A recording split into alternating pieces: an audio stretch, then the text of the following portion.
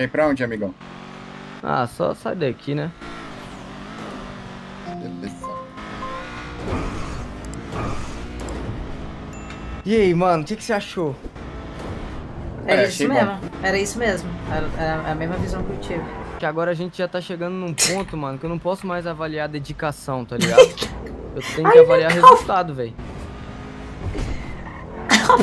É, Rapaz, não é calvo não, menino.